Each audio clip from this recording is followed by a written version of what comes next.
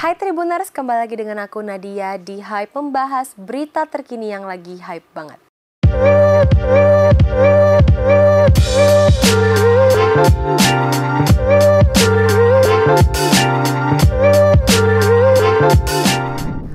Untung, seorang penjaga sapi yang berusia 50 tahun Tribuners tidak menyangka bahwa Idul Adha tahun ini dapat menjadi hal yang sangat membahagiakan untuk dirinya.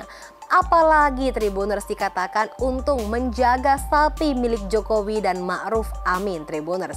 Kamu simak dulu berita yang satu ini. Tak pernah terbesit di benak untung jika Idul Adha tahun ini menjadi momen paling membahagiakan di dalam hidupnya. Pasalnya, setelah bertahun-tahun ia menjadi penjaga sapi di Nusa Sentosa Sawangan Depok, baru kali ini dirinya mendapat kesempatan menjaga sapi milik Presiden Joko Widodo dan Wakil Presiden Ma'ruf Amin sebelum disembelih menjadi hewan kurban.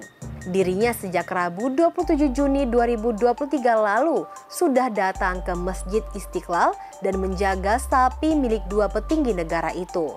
Rencananya sapi simental seberat 1,2 ton milik Jokowi dan sapi limusin cross sebesar 1,1 ton milik Ma'ruf Amin bakal disembeli pada Sabtu 1 Juli 2023. Mendapat kesempatan itu untuk mengaku bersyukur dan mengucapkan terima kasih yang sebesar-besarnya kepada Jokowi Ma'ruf karena telah mempercayainya menjaga sapi kurban agar tetap fit sebelum disembeli.